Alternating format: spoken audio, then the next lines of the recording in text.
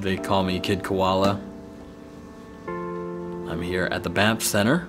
Uh, we're preparing a show called Nufonia Must Fall Live.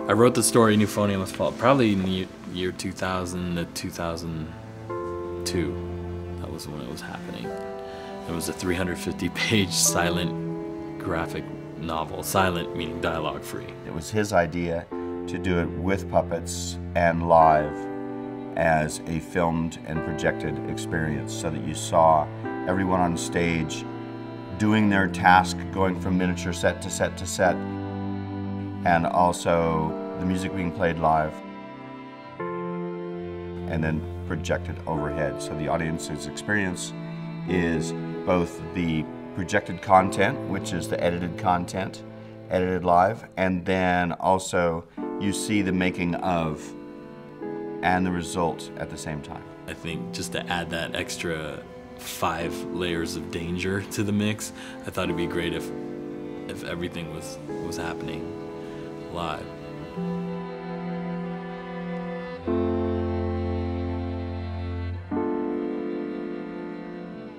It is by far the most complicated show we've ever attempted to, to put together as a team. But with all those moving parts happening, we hope that it, there's still this very fluid, like unified feeling that we can create on that screen and in the room for the audience, you know. But I'm excited. That's that's that's pretty much it. It's kind of like a dream job, you know what I mean? it's like, oh no, I don't have to just go, you know,